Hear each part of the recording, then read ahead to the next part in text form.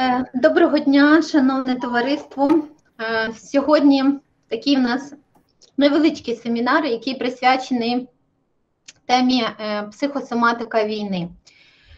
Дозвольте, я спочатку спочатку включу свою презентацію. Отже, сьогодні ми з вами говоримо про психосоматику війни, і щоб перейти до Е, даної теми. Коротко хотіла б ввести таке поняття психосоматика, що це за поняття і причини її виникнення, і тоді вже конкретизовано перейти до наших проявів, до наших проявів емоцій і почуттів. В стані війни, що проявляється, які є хвороби, які є емоції, що ми переживаємо, які є в нас почуття, ну і як з цим е, жити, проживати, е, можна так сказати, не доходити до психосоматичних розладів і психосоматичних проявів. Отже, якщо говорити про психосоматику, психосоматика з грецького вона має переклад душа і тіло, і ми кажемо, що це напрям в медицині і психології. Чому ми так зазначаємо два напрями? Що в двох таких науках, як в медицині, так і в психології, тому що ми говоримо про медицину це про хвороби, розлади, якісь певні, тобто про патологію і про психологію напряму кажемо, тому що ми стикаємося тут е, в психосоматиці з нашими емоціями, з нашими почуттями, з нашими якимись певними внутрішніми конфліктами, е, з нашими певними кордонами, тобто з психологічними. Е, отже, психосоматика вона більш говорить про те і вивчає вплив психологічних певних факторів, умов, чинник на наше соматичне, соматичне тіло, організм, орган, ну і в цілому про нас, про людину. Якщо розглянути психосоматику з такої не наукової точки зору, то ми кажемо, що психосоматика це реакція нашого тіла, реакція на якийсь певний наш психоемоційний стан. Якщо я злюсь і не випускаю це свого тіла, не проживаю його, не проговорюю, не випускаю, то тіло потім нам фонить е, чимось, якимсь органом, органом, який каже нам про ту злість, яку ми не випустили.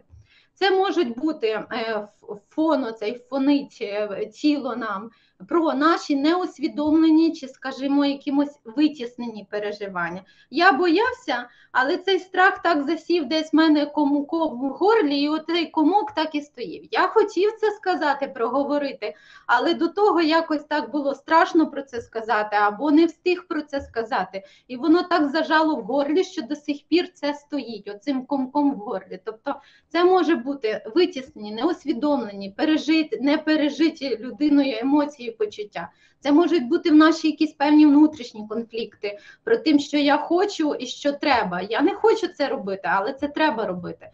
Це про те, що ми не виражаємо якісь певні наші е, такі м, прояви е, емоційні, там страх, сором, невиражена агресія, і вона лишається. Тобто психосоматика це про те, що е, крик е, нашого тіла через психоемоційний стан. Ну і такі захворювання чи розлади, які пов'язані в першу чергу психосоматичні, це з попереднім емоційним переживанням. Тобто можна сказати, що психосоматика це не зараз тут і тепер, а це що було, є і про те, що ми боїмося, про майбутнє наше, також може бути виражено в психосоматичних хворобах. Я боюся, що буде далі. Я турбуюся про це, я хвилююся. І в мене там, наприклад, наприклад, починають крутити ноги. Чому про це там біль з'являється? Тому що ноги це як, як певна наша опора в житті. Ну і далі ми про це поговоримо зараз про психосоматику. І чому психосоматику? Наразі зараз така стала актуальна в нашому житті. Е, в загальному це ми я кажу не тільки в, в, в час війни, а і в, в час е, спокою. Е, психосоматика піднялася на якийсь певний такий рівень в плані тому, що Лікарі про це почали говорити. Якщо колись казали вчені, що це псевдонаука, тому що немає якогось такого певного чіткості в поняттях, е, чіткості немає в е, там, скажімо, навіть вчених в, в висловлюваннях, в теоріях, в підходах, в історії навіть є сумніви коли ж зародилася психосоматика. Немає там чіткості, про яку я кажу в поняттях, яку ми маємо в віковій психології, там загальній психології, коли ми чітко можемо сказати, що пам'ять це увага, це відчуття, це і дати визначення, посилаючись там на конкретного вченого чи на конкретний підручник, то в психосоматиці ми не можемо про це сказати в плані, що хвороба там шлунку, коли болить шлунок, тире це. Тому що чому ми це в психосоматиці не можемо е, дати такої чіткої відповіді? Тому що в кожного це щось буде індивідуальне. В кожної людини шлунок болить, тому що психологічні причини можуть бути різні.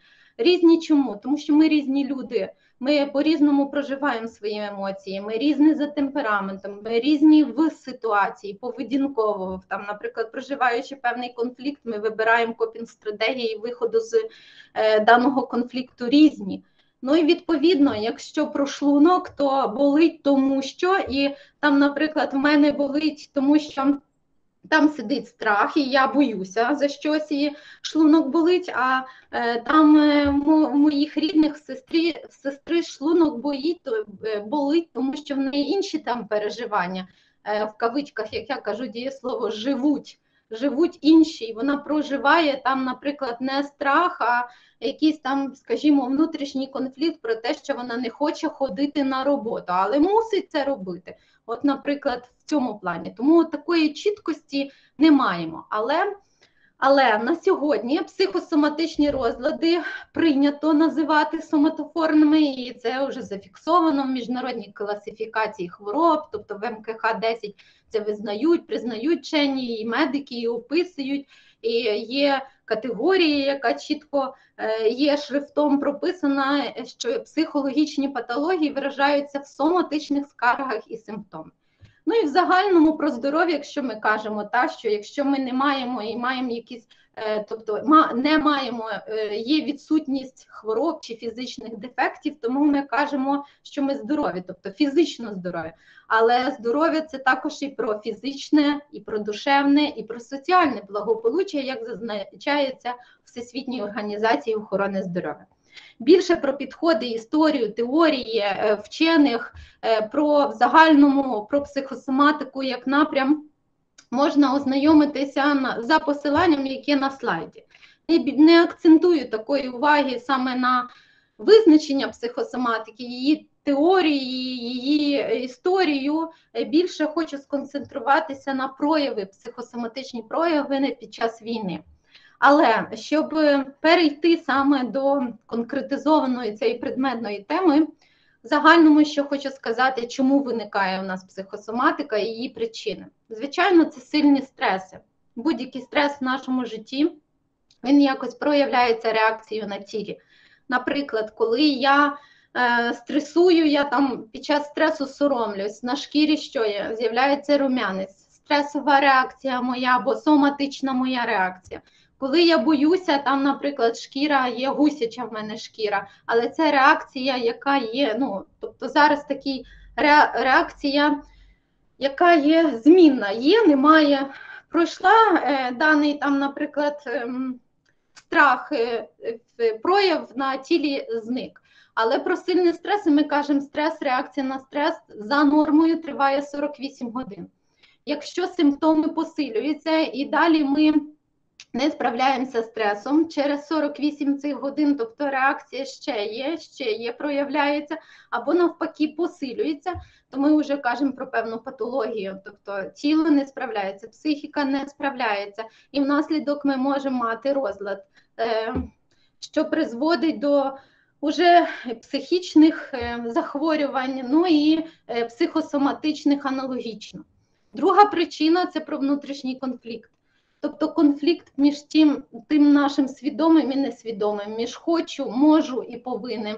Тим, що е, ну, на прикладі, на прикладі, коли Ігор Віталійович на засіданні кафедрі каже, там, наприклад, нам на понеділок, кінець року зробити QA, звіти, плани, оформити, здати, підтягнути робочі програми і тому подібне. І цього всього я розумію, свідомо сприймаю, що це треба. Але моє підсвідоме каже, що я не хочу це робити на понеділок, ну от так не хочеться і все. То йде оцей внутрішній конфлікт між хочу і треба. Та, я можу це зробити, сісти за. 45 е, хвилин чи там за годину, за дві, бо це треба зробити. Але підсвідомості, коли сідаю, я знаходжу те моє е, не хочу, буду шукати будь-яку причину, там піду готувати, ще щось робити, ну тільки не заповнювати QA і не робити ті плани. Я буду сидіти перед комп'ютером, заходити на Фейсбук, переключатись підсвідомо на інші сайти, але тільки не писати той план. Наприклад, це якщо між тим внутрішнім конфліктом. Третя причина психосоматики це є мотивація. Тобто я хочу хворіти. Ну, в мене є вигода від хвороби. Навіть на підсвідомому рівні ми розуміємо це, що ні, я не хочу, як це хвороба приходить в моє життя, як це я хочу. так? Але на підсвідомому рівні хвороба приходить, тому що є вторинна вигода від неї.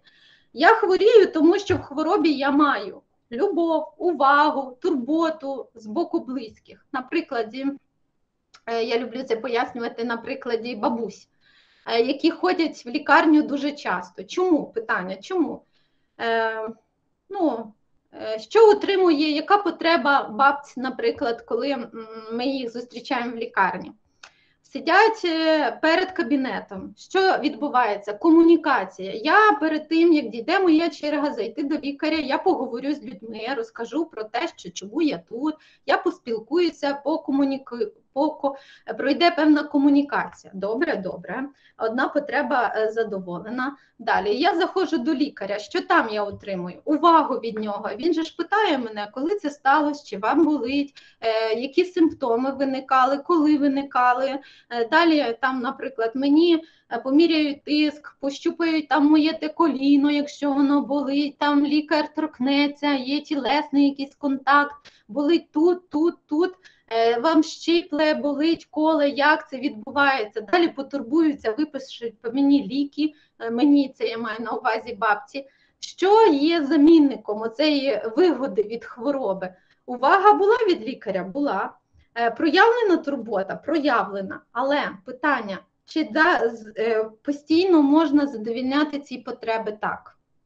Можна знайти заміну.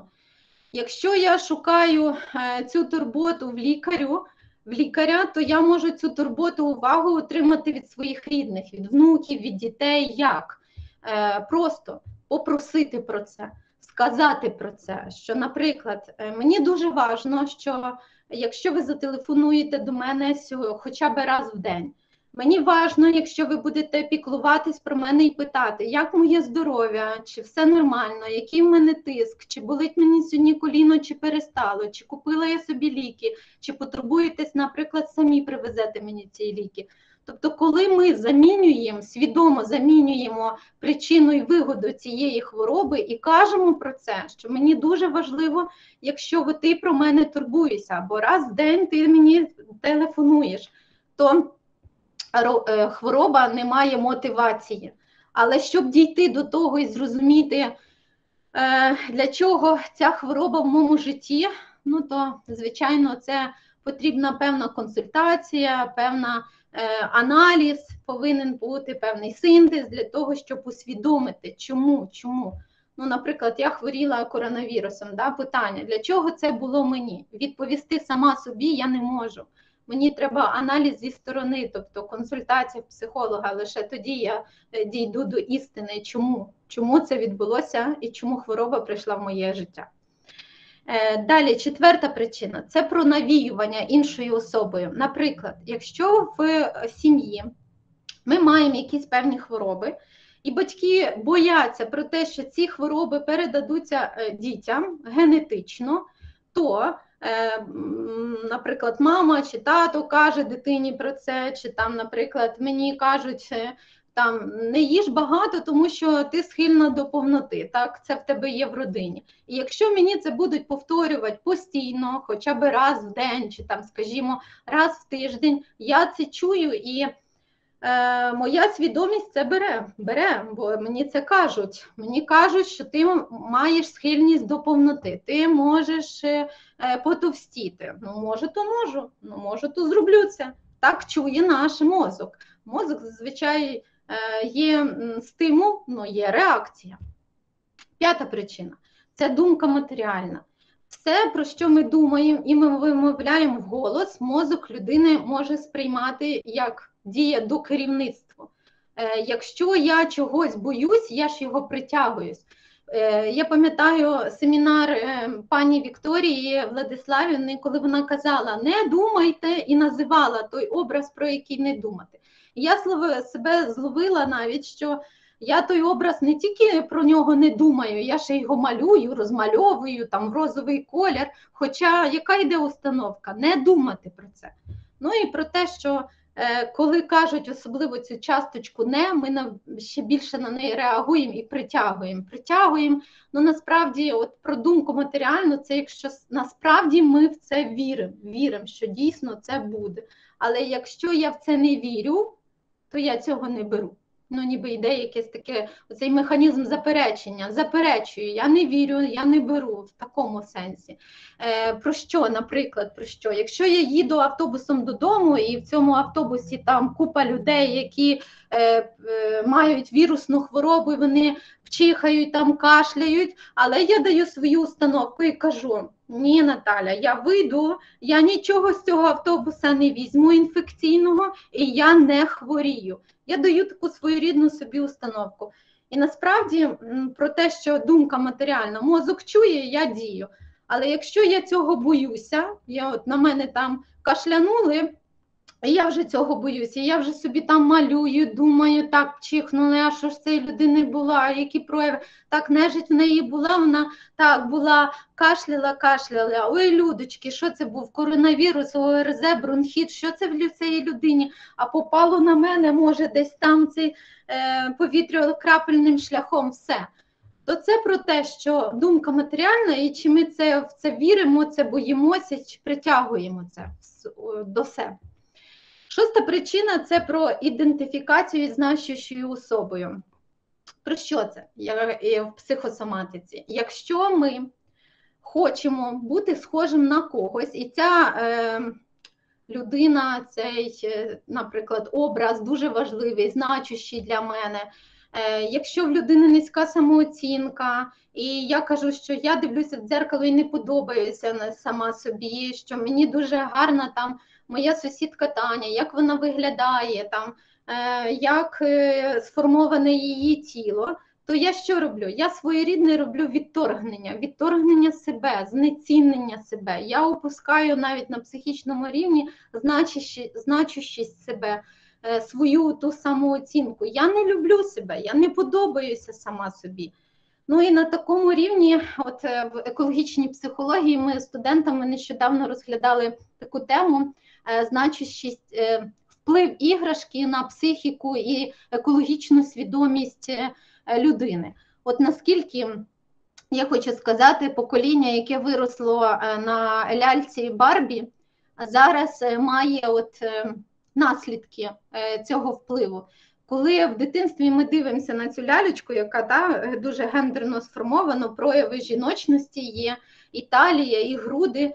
І в майбутньому, коли я виростаю, я також хочу таке тіло. Чому? Тому що воно в мене заклалося ще з дитинства. Я гралася такою лялькою. Така лялька мені подобалася. Є ідентифікація своєрідна з цією лялькою. Я хочу бути схожа на неї, але я не така. Або в підлітковому віці мені моя референтна група, особливо друзі, кажуть: Фу, ти так поповніла, що відбувається? Відбувається булімія, відбувається Е, ряд інших е, хвороб, наприклад, не лише е, це в, в даній хворобі може проявитися, а в іншій, наприклад, і про, якщо згадала про булімію і анорексію, вже хочу сказати, що ці хвороби вчені кажуть, дуже помолодшали. Помолодшали в плані, що якщо е, ці хвороби були в віковому періоді, це там 20 років, 18, 16, ну там 23, то наразі булімія, анорексія зустрічається в дівчаток в 11 років, в 10 років, в 12 років. Чому? Е, які причини можуть бути цьому? Ну, це моя суб'єктивна точка зору. Я так аналізую. По-перше, вікова періодизація з, е, змістилася.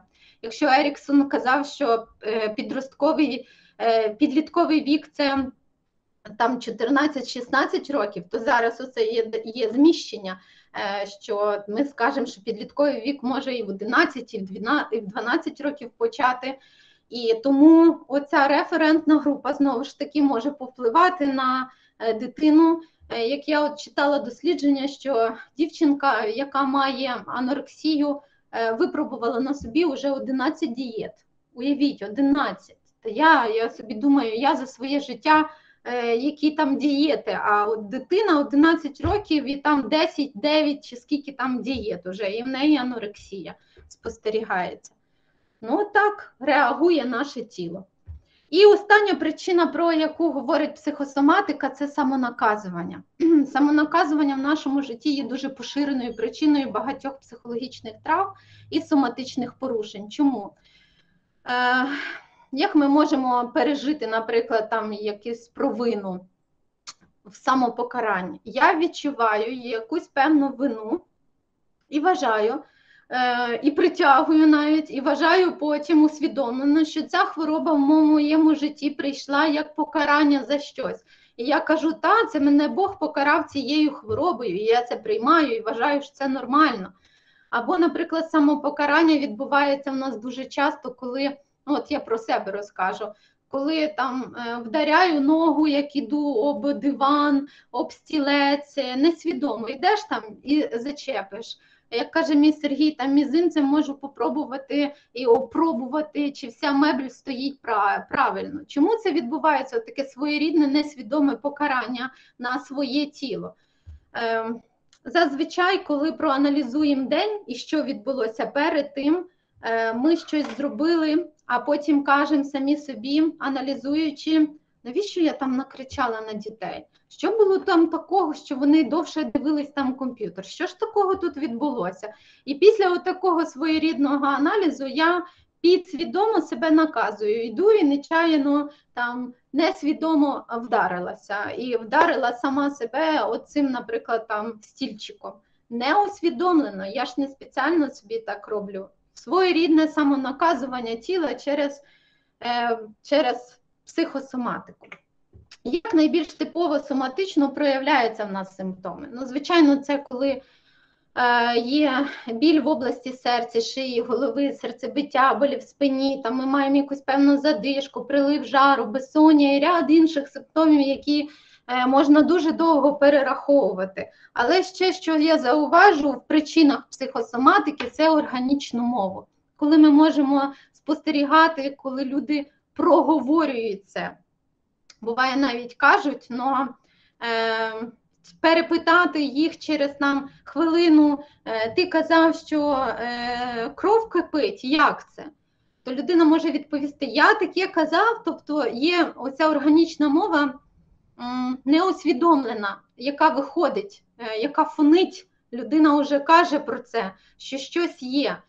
І от, наприклад, ми говоримо такі вирази: тошнить від нього, в печінках сидить, е, кров з носа треба зробити, голова тріщить, серце розвива, роз, е, розривається, кров кипить, очі мої б тебе не бачили. І оця органічна мова це як своєрідна ота матеріальна думка, яка дає реакцію мозку. Ем, очі мої б тебе не бачили. Потім ми дивуємося, чому зір ем, знижується. Була одиничка, стало 0,9. Чому? Ну, Відповідь нашого мозку, будь ласка, я про це вголос навіть кажу і не один раз. Буває, е, люди не мають ще реакції, тобто не болить, От там, наприклад, та сама тошнота, тошнить від нього. Я це сказала один раз, так було погано, я от зустрілася з ним, і після того аж тошнить мене від цієї зустрічі. і ввечері я реально мала рвоту. Хоча е, рвоту аргументую тим, що щось з'їла, щось було ну, там, на вечерю недобре. Але насправді може виходити психологічно та зустріч моя з певною людиною. Така була реакція. Це реакція може бути не лише на людину, може бути на ситуацію, може бути на якийсь певний конфлікт, на те, що я не була в конфлікті, а просто бачила збоку. Але от така реакція пішла тілесна на даний, на, на дане, що відбувалося в моєму просторі. Тому також звертаємо увагу на ту органічну мову, яка е, є або яку ми використовуємо в житті.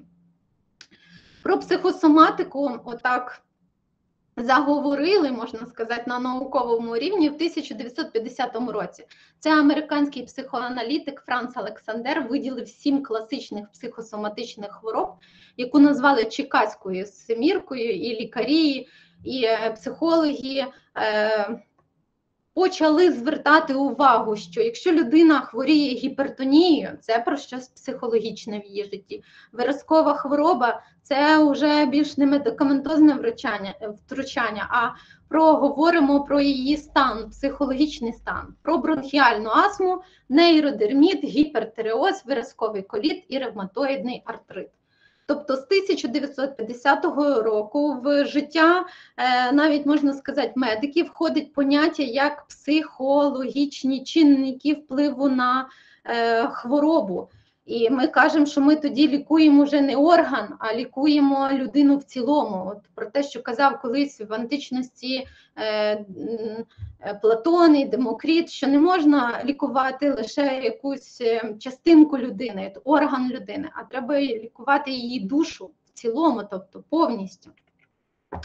На сучасному етапі в офіційну медицину входять психосоматичні хвороби, такі як онкологічні захворювання. Тут також вчені кажуть, що там є психологічні чинники, сексуальні розлади, нервова анорексія, булімія, інфаркт, панічні розлади, ожиріння, розлади сну, синдром подразненого кишківника і гіпертонічна хвороба.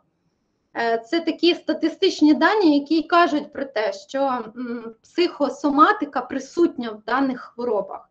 Е, наголошу, що коли ми кажемо про психо, психо, е, психосоматику, і що це психосоматичні хвороби, коли є хронічні хвороби, тобто вони повторюються, тоді ми можемо говорити про психосоматику, тому що я лікую хворобу, вона є. Я пролікувала, вона знов повторюється. Я пролікувала, вона знов повторюється. В чому причина? Задаємо питання: в чому ж причина? Я ж лікую орган.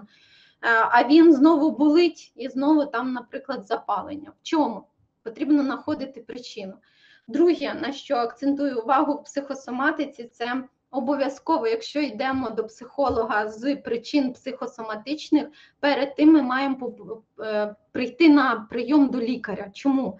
Тому що нам здається, що болить шлунок, але насправді це може боліти щось інше, інший орган. Я думаю, що в мене там Е, підшлункова, але насправді то може бути щось проблеми з там з ну, із е, там нирками, наприклад, а просто в цю сторону там віддають, наприклад, наприклад. Тобто спочатку виясняю соматичне, а тоді лише йду до психолога і реально кажу. Чому це так ми кажемо? Тому що є випадки про те, що приходить е, клієнт на прийом до психолога і каже, що в нього болить орган, але як потім виявляється, що того органа взагалі немає. Його там вирізали, операційне було втручання, а от такі їй йдуть наслідки, чи там людина думає, що тут в неї десь е, підшлункова, а вона зовсім нижче, чи там ну, от ряд от цього, що має бути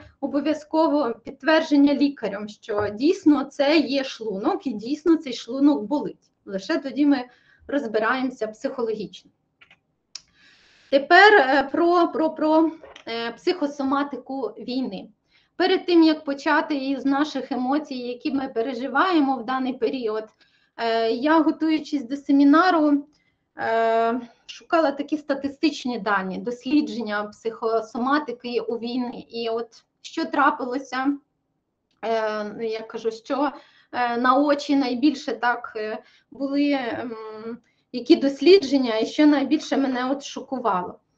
Е, Проведені британськими вченими дослідження після Другої світової війни показали, що найбільше хвороби після війни, психосоматичні хвороби, які проявлялися в людей, це були хвороби шлунку, е, хвороби сердечно-судинної системи, і найбільше з них це інфаркт і інсульт. В 2000 році е, було дослідження медиків е, в, в, в саме серед людей, емігрантів із з Іраку, які застали війну в Персидському заливі, і їхні найбільшим таким хворобою, яку вони проживали, і це масове таке було явище цієї хвороби це алекситимія. Е, це прояви, це хвороба про те, що людина не може розпізнати або сказати про свої тілесні симптоми, відчуття і про свої е, емоції. Тобто, що що тебе хвилює, не знаю. Що зараз ти переживаєш, не знаю. Чи болить тобі е, щось в тілі? Не знаю. Ем, ну точно не болить, чи ти не знаєш і людина не може дати відповідь на це. І якщо навіть збоку я буду показувати якусь реакцію йому, якусь емоцію, людина не розпізнає, не може відтворити і сказати, що це. Це страх, це злість, чи це е, там радість, чи це щастя, не може. Е, Розпізнати і сказати про це. От таке своєрідне, знаєте, заціп'яніння в людей відбувалося, що не можу це відобразити. От зараз зажата дуже сильно от, алекситимія. Але із цих досліджень, що найбільше мене вразило, це е, програмою психічного здоров'я громади Гази серед дітей 10-19 років було проведене дослідження, що коли відбувався конфлікт в Палестині. Е, як це відобразилося на психоемоційному стані дітей, і не лише на психоемоційному, а й на фізичному. І оті дослідження показали, що майже половина 46% дітей мали зміни поведінкові, дуже сильна агресивність була. 38% показали статистика, що когнітивні зміни відбулися, тобто діти е, почали навіть відмінники гірше вчитися. Е, погіршилися, е, діагностика показала погіршення пам'яті, уваги, е, тобто якоїсь певного того сприйняття. Такі показники були. Далі були нетримання сечі, тобто цистит в дітей був і це 27% в показниках і 39 скаржились на нічні кошмари, тобто можемо казати про порушення сну. Але що найбільше мене вразило в цій статистиці, і в цьому дослідженні, це те, що 34% це майже половина батьків. Е, опитаних дітей запевняли, що їхні діти не були безпосередніми свідками стрілянини і не жили в прифронтових е, регіонах оці психологічні проблеми у дітей і підлітків спровокувало висвітлення військового конфлікту по телебаченню. Тобто, це вони все тільки бачили, вони навіть не відчували, вони не були там, вони тільки чули про це і бачили. Е, по там сприйняттю е, зоровому всей цей жах, який насправді діти переживали, але вони в цій відсотковій вибірці, тобто зі 134% дітей е, лише це все бачили. Але наслідки мають ті ж самі, які мають діти, які це все прожили, відчули і були там. То от, оця статистика вражає мене тим, що ми також зараз багато чого бачимо і чуємо, але не відчуваємо. То от показники аналогічні. Е, в в дітей. Ну, як пояснюю в дітей, чому Чому ці показники можуть бути? Ми знаємо, що діти це не сформовані захисні реакції в дітей, вони ще лише формуються. Е, діти також по-різному е, сприймають травму в дитячому віці. Ми запам'ятовуємо більше і глибше і надовше, ніж в дорослому віці. В дорослому віці в нас є захисні механізми, в нас є певні ресурси, в нас копінг стратегії є, як вийти із конфлікту, стресу і тому подібне. У нас більше адаптаційних вже можливостей. І ми дорослі е, в травмі можемо в стресі може мати травму лише 20%. Тобто з 10 нас людей присутніх в кімнаті, бачачи одне те саме, перебуваючи в одному там, наприклад, ДТП, наслідок травми може мати лише з 10 дві людини. Дві. Ну, Про що не можемо сказати про дітей в них нервова система ще не сформована, захисні механізми не сформовані. Тому е, тому, тому е, з цим е, Ну, Для мене це це серйозна така інформація. Я от задумалася, бо насправді я не контролювала е, там, де мій е, старший син в інтернеті, що які картинки він переглядає, він знає, ми це проговорюємо, але він ще ж бере додаткову інформацію. От питання, де він її бере, чи я це контролювала? Ну, по-чесному, ні. А от зараз, після того, готуючись до семінару, я на це акцентую увагу, що дивляться мої діти і що вони сприймають, і як це сприймають. І тепер ми це і я контролюю, і ми плюс проговорюємо. Далі, тепер про саму психосоматику війну. Що в війні, які емоції ми відчуваємо і що ми проживаємо? Звичайно, позитивних емоцій ми не маємо. Не маємо ні радості, ні щастя, ніякого позитиву. У нас є оці деструктивні більше е, емоції. І це ми маємо страх, такі негативні емоції. Це ми маємо страх, злість, агресію, образу якусь певну. Як ми це проживаємо, що відбувається в нашому тілі? Ну, оці картинки, які я вивожу в слайдах, це от про страх і про е, нашу психосоматику, яку потім потім можемо мати, можемо не мати. Знову ж таки, дивлячись від того, чи ми ресурсно стійкі, чи не зараз ми. Е, можемо вийти із психосоматики, чи є в нас ця можливість адаптаційна і е, ресурсна, і що ми робимо для цього питання? Е, то про страх. Ну, Картинка відображає от психосоматику страху нашого. По-перше, це очі, так як є і прислів'я, в страху очі дуже великі. Тому ми також можемо казати про те, що можуть е, мати певні порушення або зниження Е, зору або фокус, е, фокусація знижується наша, тобто щось з зором там розпливчивість, не так ми читаємо текст, або очі наші навіть е, ну, фонять нам про те, що не можу сфокусуватися на тексті, щось розпливається, не можу це читати зараз. зараз. Про страх ми також кажемо, що в страху ми буває навіть не дихаємо. Тобто ця реакція і ця картинка, що коли неприємна звістка, ми там руку автоматично навіть до, до лиця беремо, таким чином навіть не даємо собі можливість е, продихати це, вдихнути, вдихнути ніби цю новину, бо страшно те, що ви от зараз кажете, наприклад. Говорячи про страх, тривогу і неспокій, ми кажемо, що він є постійно в нашому житті. Чому? Тому що це наша базова емоція. Чому базова? Ну, я завжди кажу і пояснюю це, що якщо б я не боялася і в мене не було страху, я би собі там вийшла на п'ятиповерховий будинок і зістрибнула. А чому ні? Адже страху в мене немає, не присутній він у мене. Цієї емоції немає, взагалі немає.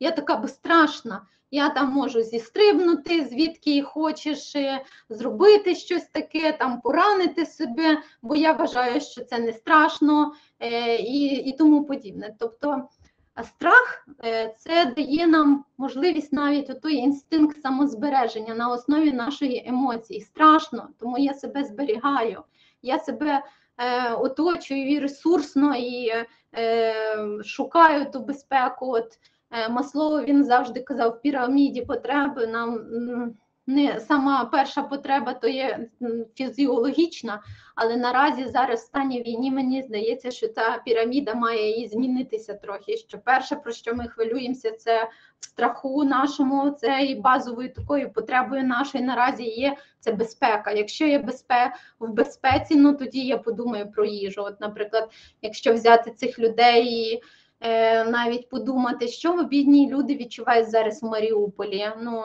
мабуть, їм зараз сказати, чи тобі холодно, чи ти хочеш їсти, то їм важливіше це про те, чи я в безпеці зараз. І дайте мені безпеку, і не треба мені їсти, не треба мені тепла, аби я був в безпеці. Е, Головна, е, мабуть, зараз потреба, яку ми задовільняємо під час війни, чи я в безпеці.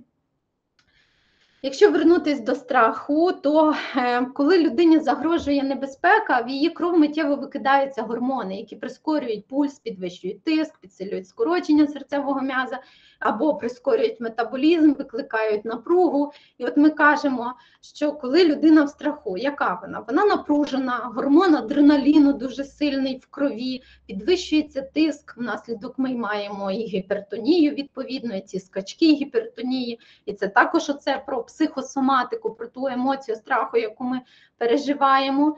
І оцей постійний страх, страх, страх, звичайно, зараз, як я кажу, який уже день війни, і ніби ця тривога, страх і е, стрес вони в нас спадає. Але сьогодні стрес ми маємо в перші дні війни, там, скажімо, вперше почули, як звучить сирена. Страшно, страшно. Далі те, що там, наприклад, сирена була страшно від того, що чого так довго, там збільшення по часових мірках її. Е, далі були якісь чинники, які ми знову ж таки почули, і це страшно. Там Запорізька атомну станцію е, атакують. Страшно, страшно. Далі було страшно, ніби е, реакція на страх знижується, але кожен день ми маємо інший стрес, посилений стрес. Цей проходить, новий приходить. І оцей, про що я хочу сказати, що ця напруга в м'язах вона постійно присутня в нас постійно відбувається оцей виплеск гормонів і адреналіну, і кортизолу, це гормон стресу, і він наявний постійно наразі зараз в нас. До чого призводить емоція страху, і яка наявна в нашому організмі? До виразки. Раз. Чому? Тому що той страх ми за, як я кажу, заганяємо е, в шлунок, або в е, наш кишково-травний тракт, і там оце переварюємо. Є люди когнітивні, які аналізують, синтезують інформацію, порівнюють інформацію. Для них це важливо. Е, тому зараз ми можемо казати про те, що це може бути порушення сну. Чому? Тому що я думаю, думаю, аналізую, я я в процесі, я в процесі, я не сплю навіть вночі, ще йдуть ці процеси. Може бути головні болі. Це також від того, що мені дуже важливо зібрати інформацію, проаналізувати цю інформацію. І від перенасичення цього всього головні болі можуть бути присутні. Е, якщо люди когнітивні, це більш про те, що буде болити голова, то от люди, які страх або цей цей аналіз заганяють е, в шлунок свій, то от там відбувається оце бурчить, бурчить шлунок, травить, травить, травить інформацію, бореться, бореться з страхом. Відповідно, маємо наслідки там. Е, мій малий в школі, коли приходить додому і каже: е, Ти знаєш, в школі були в живіт, я зразу його питаю: контрольно була? Він каже, так, контрольно. Ну от страх живе в животі. І ми можемо з цим зустрічатися в багатьох людей, людей, людей, але це не завжди всіх так. Не завжди. Ми всі різні. Тому той страх ховаємо е, по-різному, хто де в якому е, своєму органі, організмі. Про порушення серцево-судинну систему наразі ми маємо е, різні такі патологічні наслідки. Чому? Ну, По-перше, серце це серцеві переживання. Ми турбуємося і переживаємо, і боїмося за своїх рідних, які зараз на війні, за сусіда, які зараз на війні, за племінника, за родичів, за от свою сім'ю, за знайомих, за одногрупників і тому подібне. Ми турбуємося про них серцем. Е, літературно, якщо про це сказати. Ну але відповідно і ми про це і кажемо е, своїм тілом. Болить, коле, турбує серце. Чому? Тому що от наразі зараз так я переживаю ці події в своєму, в своєму житті. Тому є оця тривога, яка ем, засідає і виходить порушенням в серцево-судинній системі. Ну, в більшості це про щось рідне, от про своїх, про рідних, серцевих. Серцеві хвороби це про от щось сердечне, близьке моє, рідне. Дихальна система, чому відбувається порушення під час війни, є наслідки хвороби. Е, це більше про те, про дихальну систему, як про що ми вдихаємо, що ми видихаємо. Дихання це життя, адже людина народжується, робить перший вдих, і ми починаємо жити. І коли людина помирає, вона робить ніби останній видих. Вона помирає, це останній видих, видих життя з неї.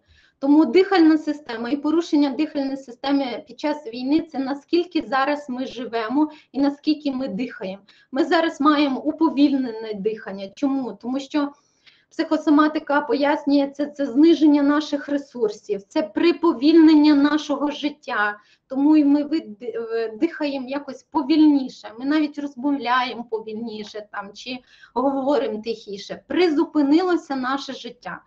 Якщо бачимо протилежне, тобто людина швидко тараторить, говорить, вона якась така тривожна, то це також про нашу тривогу зараз під час війни.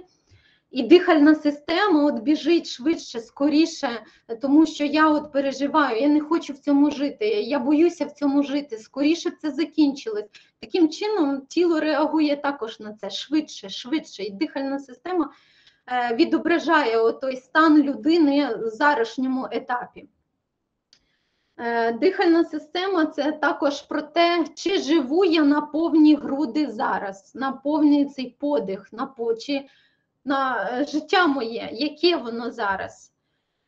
В більшості ми характеризуємо, як це. Якщо я в діяльності, я про це не задумуюсь. Я дихаю, як я дихала, чи є якісь там прояви зміни е, в моїй системі немає. Е, норм, ок, чи я от можу сконцентруватися і дати відповідь на запитання там. Е, я пришвидшено дихаю, там швидко зміни відбулися, якісь ні, та чи ну, людина може відповісти ні, абсолютно нічого не змінилось. Чому не змінилось? Тому що це може бути в іншій системі, там серцево-судинні чи опорно-рухові прояви, або навпаки, я зараз так сильно в ресурсі, я чимось компенсую це все, я чимось займаюся, що мені зараз абсолютно не до психосоматики, абсолютно не до моїх емоцій. Тому і наразі немає відповідностей прояви психосоматики. Про опорно-рухову систему коротко також я про це скажу. Ну, Опорно-рухова система це наш скелет і наші, наші ноги, які також можуть страдати зараз під час війни. Про хребет чому? Е, я пам'ятаю, як мій науковий керівник Оксана Володимирівна Матласевич казала мені під час е, написання кандидатської роботи: Наталя, саме головне зараз е, зробити скелет роботи, а потім ми на нього будемо нанизувати м'язи. Тому от і скелет це також в нашому житті про якусь опору, чіткість. То от якщо задати запитання, чи є в нас опора зараз в житті, чи є? Ну якщо є, то хто ця опора в нашому житті? Звідки ми беремо цю опору під час війни? Е, І ну, якщо даємо відповідь на це, то відповідно я це відчуваю, значить я це маю. Якщо я це про це вже задумався, то це також про те, чи болить мене, чи десь коле, от, наприклад, про плечі. Якщо я мама, яка зараз взяла всю відповідальність за своїх дітей, тому що, наприклад, наприклад, я за кордоном, але насправді в житті про це все, про якісь побутові речі, турбувався про це мій чоловік. Він знав, скільки там коштує газ, там скільки треба заплатити. Але це все зараз, зараз на мені. І я, в принципі, цього не хочу. Але треба, треба. І я це мушу це робити. Тому тут можуть бути ці прояви. Там болять плечі, зажимає плечі. Я дуже часто їх там ну, болить аж ось сюди, віддає аж в шию. Якщо ми говоримо про біль е, в хребті, оце між лопатками, то ми кажемо про це про підтримку. Підтримка, чи є зараз в житті в мене підтримка? От коли дитина впала і вона там плаче, ми що робимо? Ми там гладимо по голові, а тоді інтуїтивно спускаємося на спину і гладимо її в спині в саме в тому е, проміжку таким чином підсвідомо ми даємо дитині підтримку. Я тут, зараз зі мною, е, вже спокійно, все нормально, не плач. Е, знімаємо цю своєрідну страх і тривогу в дитині. Тому, якщо про хребет і саме біль там, то це про підтримку. Якщо про ноги, е, то ноги це наша опора в житті. Ми стоїмо. Якщо ми стоїмо, ми рухаємося, ми про рух вперед, е, про наше майбутнє. Чи, наприклад, є якесь певне зараз заціп'яніння в людей, і ми не знаємо, що буде далі, що буде далі з нашою економікою, що буде з нашою роботою, що буде з нашим життям, що буде з нашими дітьми. Тому, відповідно, от крутять ноги, болять ноги, там є артрит, посилюється, був, а тут нібито відновився, і знову ці сильні болі я відчуваю в колінах, і ноги якось так викручує. Це на погоду. Ні, питання в тому, що насправді це. Чи це на погоду, чи це оце психологічний фактор, тому що зараз я дуже багато про це думаю. Думаю про майбутнє, яке нас чекає. А майбутнє це мої ноги, і я рухаюся вперед. То от питання в цьому. Е, ще зараз отак фоново є і видимо в психосоматиці війни це постійно холодні кінцівки. Так люди кажуть, і відповідно, і це е, дуже часто є такий запит. Е, ну, е, Зазвичай є люди, в яких там і зимою і літом холодні руки, ноги, але от фоново в перші дні війни люди скаржились на це. Було таке, кажуть, заціп'яніння в перший день, що навіть не відчував ті ноги, розтирав аж ноги, такі вони були холодні, я навіть їх не відчував, так кажуть. Або руки, такі холодні руки, от мене ніколи такого не було, і я аж тру їх, тру, тру, поки та кров прилине і вони стануть теплі. Е, на фізіологічному рівні, як це пояснюють навіть медики, що коли є страх і тривога, ми що робимо? Ми втікаємо, ми е, створюємо собі безпеку, і для того, щоб це створити, втікти, наприклад, сховатися. Е, Автоматично мозок ніби виділяє нас відлив крові від наших кінцівок, бо я буду бігти, я можу поранитись, я буду десь пробиратися. От, наприклад, хочу сказати про себе, що зимою до того є холодні руки, що якщо в мене десь там ніхоть задереться, і я його зламаю, і буде навіть кров, я не буду відчувати це до тих пір, поки не побачу ту кров, або поки я не буду е, вдома, десь в теплі, і ці руки ніби відчуття е, повернеться. Тоді я лише відчую, що от в мене зламаний той ніхоть так сильно, що аж болить і там кров з'явилася. То от саме в цей момент ми також маємо ці прояви постійно холодні кінцівки. Це як готовність діяти людини до того, що я втікаю і я не відчуваю. По чому я біжу? Мені головне це зберегти себе чи там зберегти своїх рідних, я там хапаю, біжу, ховаюсь і тому подібне. І тоді, лише як я в безпеці, лише тоді я відчуваю це тепло, вже руки теплі. Про головні болі ми проговорили: це про е, когнітивність, про наш аналіз, синтез, про наші думки. Якщо я думаю, думаю, думаю, думаю, думаю, думаю, ну я постійно в тривозі цьому, то і голова може боліти від цього всього.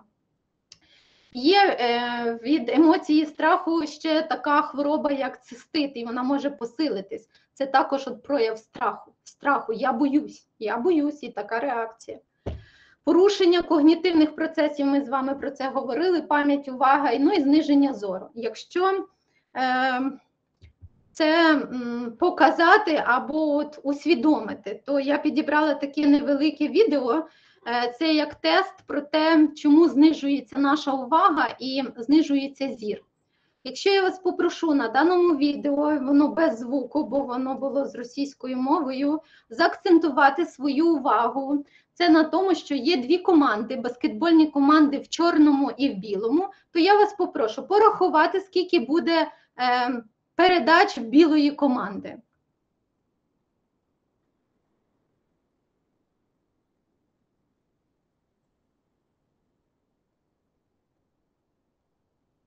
Скільки насправді ви їх бачили цих передач? Ну, наприклад, якщо було їх 13, або хтось що бачив їх, можливо, більше або менше.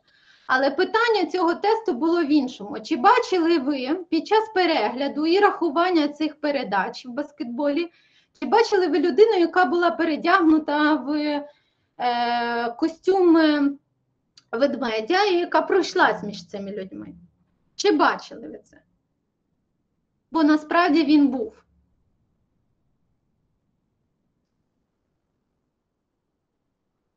Якщо ще раз переглянути відео і сконцентрувати увагу на оцій людині в передягнутому костюмі ведмедя, який що там танцює, то насправді він був. Але питання, чому ми не фокусували увагу на саме цієї людині, а фокус був лише в нас е, на е, кількості передач? Тому що е, так зараз, як і в нашому житті відбувається, фокус на чому? На війні. Ми там читаємо новини про це, е, розмовляємо про це. Фокус нашої всієї уваги і навіть самого зору, чого я вернула картинку до зору, тому що ми на цьому дуже багато фокусуємося, дуже багато. І чи витримує наш зір, наприклад, якщо адаптаційні можливості мого організму це і психологічний норм, то і витримують. Але якщо я вже кажу про це, що я вже не можу, не можу дивитись на ті картини в інтернеті, на ці новини, на от фокус постійно мати е, на от на, на, на, на, на новинах про війну, то мозок наш буде і знижувати, е, знижувати наш зір, знижувати нашу увагу, щоб ми про це не думали, щоб ми це не бачили. Відповідно, так може бути реакція нашого тіла. Знизити, знизити показники, знизити зір, знизити фокус уваги, щоб не е, абстрагувати саме на цьому, не актуалізувати саме це. Це про страх. Якщо говоримо про злість, що буває під час злості і психосоматика злості? Найбільше страдає в нас під час злості це зуби. Чому зуби? Наприклад, коли собака злиться, вона показує нам оцю свою агресивність оцим вишкірянням зубів. Тому психосом, е, психосоматика і каже, що якщо злість я не проявляю, не проговорюю, не не не, не проживаю, то від того буває страдають зуби. Вони болять, зараз неють, кришаться, ну, фонять злість зубами. А може боліти знову ж таки, як і ми казали про серце, але злість засідає інколи в людей і в серці. Отут зупинилася моя злість в серці і стоїть. Може бути в дихальній системі, десь отут аж стала та злість і стоїть. Я зараз маю якийсь запальний процес, можу мати ОРЗ, оцею злістю, отут вона в мене аж дихати не дає, можуть люди казати про це. Ну і злість, вона може жити ще в печінці, і ми маємо таке накопичення цієї злості в печінці і страдаємо від цього. Може бути запалення жовчого міхура, це також про злість зараз в період війни. Ну і про шлунок. Це також, коли я ото шлунок аж бурлить буркає аж від злості. Отак переживаю ту злість в своєму тілі. Про агресію, яка також наявна зараз під час війни у нас. Вона може бути як вербальна, тобто ми її можемо проговорювати, може бути фізична та агресія. Як вона проявляється в нашому організмі? Перше, може страдати шкіра. Тобто я так злюсь на оце все, що відбувається навколишнє в середовищі, що шкіра вона несе захисний механізм е, в нас соматично, і таким чином вона й захищає мене. Не хочу виходити, нікуди там е, нікого бачити. Можуть бути різні оці прояви, може бути псоріаз для того, щоб убезпечити, тобто шкірні там висипи. Якщо е, це проявляється, я навіть не виходжу з дому, щоб мене не бачили оточуючі оточуючи мене люди. І Таким чином я створюю собі оцей бар'єр, безпеку. Не хочу навіть не хочу виходити з безпечного мого місця. Як можу не вийти? Ну, от прояв такий піде, наприклад, на лиці чи там на шкірі. Не хочу показуватися навіть людям після того. І шкіра тут це як захисний механізм. Нігті, агресія це також в руках може бути, може бути в ногах. От ми починаємо діти гризти нігті. Це от така своєрідна прояв агресії. Ми можемо нігтями роздирати наше тіло. Це може бути як самопокарання або злість на саму себе, або злість на те, що я нічого не роблю. Я там аж диру себе, роздираю. Це, як я кажу, чухання може бути з'явитися під час, е, під час війни. Руки болять, ниють, аж викручуються. Також наша агресія, яка не виявлена, тому що ми хочемо виявити агресію конкретно на певну людину, на певних осіб, але цього зробити не можемо. Воно затискається і отут в нас сидить. Ноги, ноги аналогічно, агресивність така, що аж бити ногами хочу виразка шлунку, така агресія пішла, що е, шлунок болить, і їсти не хочу, і може бути і загострення, і може бути аж гастрит. Така сильна агресія, яка перейшла туди. Герпес може з'являтися і зараз досить часто є оце такий прояв людей. Чому? Тому що ми говоримо і багато йде агресивності саме вербальної. Зверніть увагу, наскільки зараз ми почали матюкатися.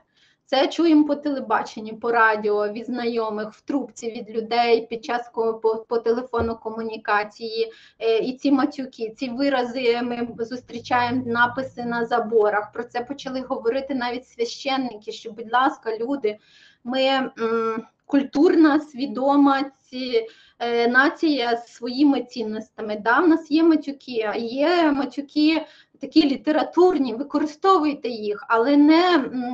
Не не переходьте на рівень росіян, які це роблять. Але от таким чином ми ніби випускаємо агресію через той матюк, так? Ну, але в наших цінностях, українських цінностях, матюків немає. Ми ніби знову вибираємо деструктивну таку поведінку нашу, е, руйнуючу поведінку. І ми фоним цією поведінкою її занадто багато, занадто багато в зараз в нашому світі. І відповідно тіло також реагує на це. Вилазить оцей герпес на, на, на губах як прояв того, що ми говоримо. Зверну, звернути увагу, наскільки я агресивна і що я проговорюю, що з мене виходить. Ну і вірусні хвороби. Вірусна хвороба це про те, про інфекційні хвороби. Це, як я кажу, тіло це якийсь як певний, е, як певна земля. І коли проростають оці віруси, коли попадають в наше тіло, яке також є агресивне, зле, недобре, тобто я і навіть притягую оце всю цю злость, і оцей вірус і цю інфекцію. І ці інфекції і цим вірусам в моєму тілі добре, бо ну, плюс-плюс, норм.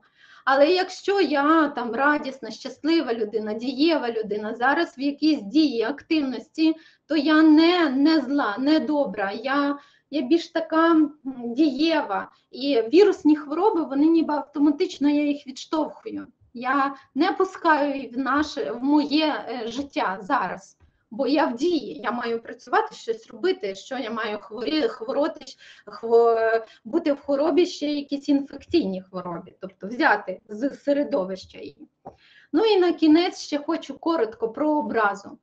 Якщо не говорити про цю, е, про це почуття, то мені дуже подобається ця скульптура, скульптура румунського е, е, скульптура, яка є в Швеції, і це скульптура Меланхолія називається, і от вона мені так метафорично відображає ту образу. Це якась пустота всередині, це те, що людина проживає, як каже, як кажуть вчені, причина може бути болю, душевного болю, скривдженості, словом, вчинком. Це те, що зараз ми відчуваємо і проживаємо. Е, чому це відбувається в, нашій, в нашому житті? Чому оце е, є в нас і та образа може приносити таку пустоту. Е, відповідно, в тілі де. Ну, на в образі, у такому метафоричному образі скульптури, це більш задіяна, бачите, тут і серцево-судинна система, і дихальна система, і шлунковий тракт наш, і де хребет в цієї людини немає, тобто навіть не зображений. Ми можемо також говорити, що образа це опорно-рухова система страдає, цілому, ну і знову ж таки зауважу, в кожного це по-різному. Психосоматика вчить нас е, прожити, віддати, е, проговорити всі наші емоції і почуття. Але якщо ми це робимо, да, і от знову ж таки ця скульптура показує, що те, що з нас виходить, воно ж і в нас повертається. То чи правильно ми це робимо? Питання: якщо я виділяю злість, то куди вона проговорюю злість, випускаю себе злість, куди вона приходить? Приходить знову ж таки до мене. І насправді це так, якщо я буду фонити, е, показувати ці злість, агресію, образу, то навколо мене що буде? Злість, образа. В моєму середовищі будуть ці люди. Е, злість і образу мені будуть віддавати і показувати мої діти, моя сім'я, мої родичі. Колеги хотіли б мати таку колегу, як я, злу, недобру, агресивну, яка постійно ображається. Звичайно, ні. Тому питання, як конструктивно переживати ці емоції і почуття? Ми багато про це кажемо в наших семінарах, і щоб е, не повторюватися, е, в 90-х роках ізраїльський вчений практик Лаат розробив модель модель е, каналів або ресурсів, як от правильно пережити стрес, пережити емоції, пережити взагалі травму, переживання оцього всього. І навіть ту саму злість, образу, агресію, страх, про які ми сьогодні з вами говоримо. Як правильно? Правильно це вибрати канали. От е, Ізраїльський вчений каже, що зазвичай в нас існує два канали, наших каналах, які ми постійно використовуємо. Але якби ми підключали інші, оці їх є шість, то було б супер. Е, що це є за ресурси або за ці канали? Ми говоримо про це вже багато. Я тільки не буду конкретизовано зупинятися, але проговорю. Це віра. Тобто ми молимося і таким чином ми кажемо Богові, Боже, зроби так, щоб я не була така зла. Забери цю агресію в мене. Ми молимося про те, про свої цінності відображаємо. Тобто є якась певна віра, і таким чином ми забираємо ту своєрідну агресію свого тіла. Це можуть бути почуття і емоції, тобто афект, в якому стані зараз ми. Якщо я це усвідомлюю, що от я зла і недобра, і я така чуттєва, я холерик, я маю випустити це, то як я це роблю? Я йду щось мию, я є в діяльності, я хочу потурбуватись про себе і про когось. Таким чином я заміщую, заміщую ці недобрі почуття, які виникають в мені.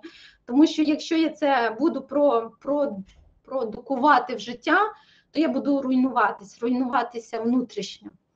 Е, соціальний фактор це про нашу комунікацію, друзі, підтримку, е, про наших родичів, про наших близьких.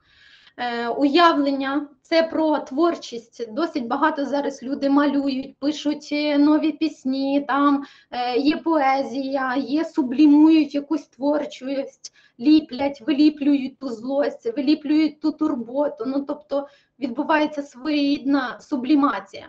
Досить багато людей зараз і кажуть про те, що я вертаюсь до якихось тих жіночих практик. Наприклад, багато вишиваю, багато там щось плету, іде заміщення отої ем, негативу чимось, чимось позитивним, приємним, ресурсним в моєму житті. Когнітивний фактор це про те, що я вам казала про наше да, знання, логіку, аналіз, порівняння, синтез. Мені це важливо. Я спокійна, якщо я знаю, що відбувається в світі. Я зібрала інформацію, проаналізувала, і це мені спокій. Я про себе казала своїм друзям, що е, перед війною я чому була когнітивно так зібрана і спокійна, тому що я зібрала валізку.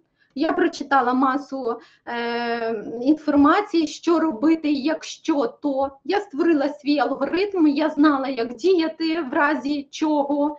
І я була спокійна. Я казала це метафорично, що знаєте, я написала собі вже шпаргалки як студент, і ці шпаргалки в мене є. От е, в мене десь лежать оцей зібраний там е, е, зібрані речі, чемоданчик той. Він стоїть в куточку, пригодиться чи не пригодиться, не знаю. Но головне, що мені вони він в мене є, я спокійна.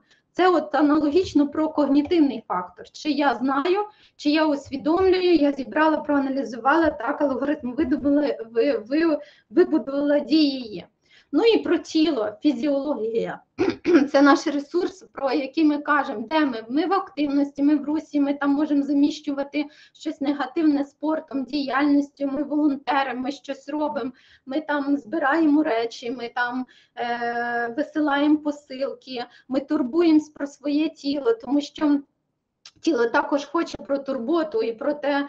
Е, в чому зараз я? Я в страху, в стресі, в злості, і як це викидається, тобто навіть реакції по тілі є. І тіло це також про те, що ми їмо, це також про це. Я пам'ятаю в перші дні, коли ми спускалися в підвал, мої діти завжди просили мандарини.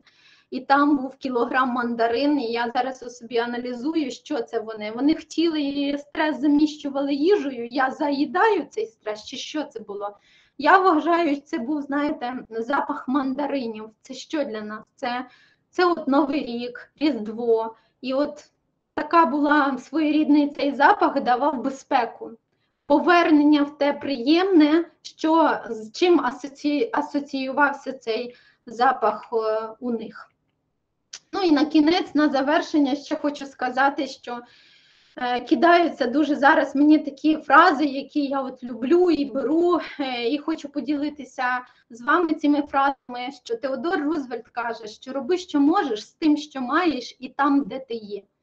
Ну і це мені також така ця фраза, це ресурсна фраза.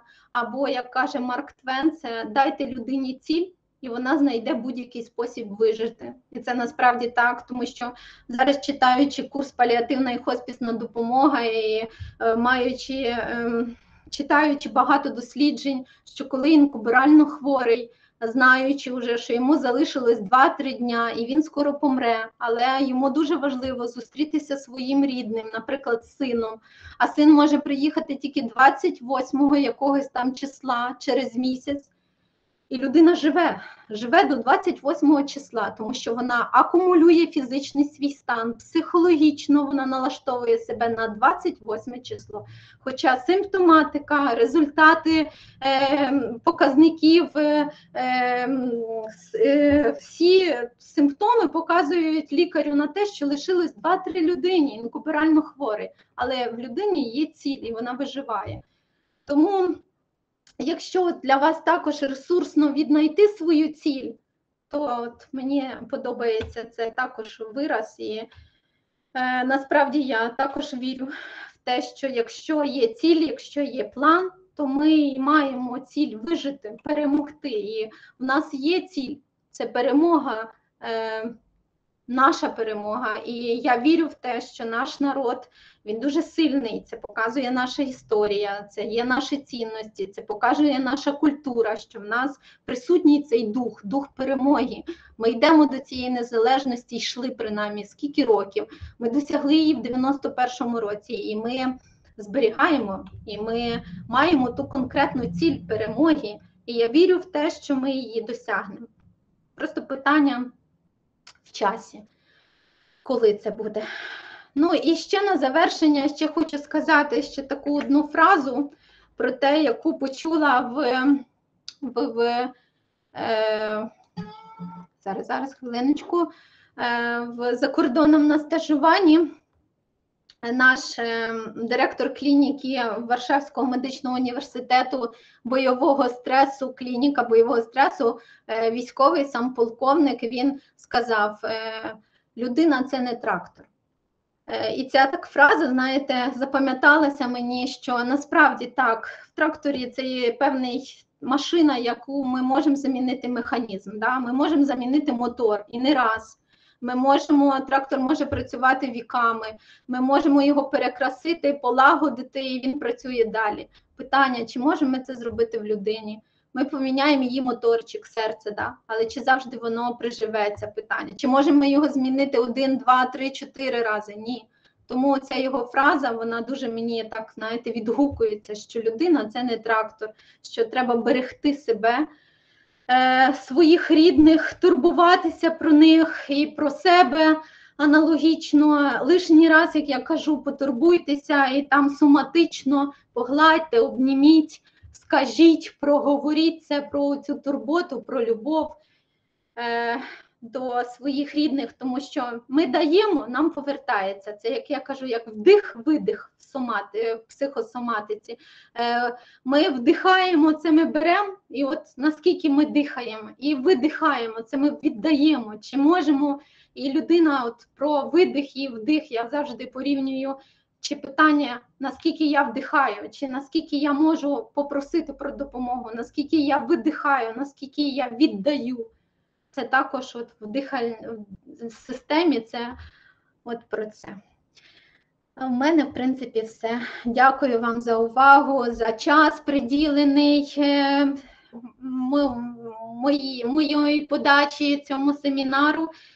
І якщо є питання, прошу.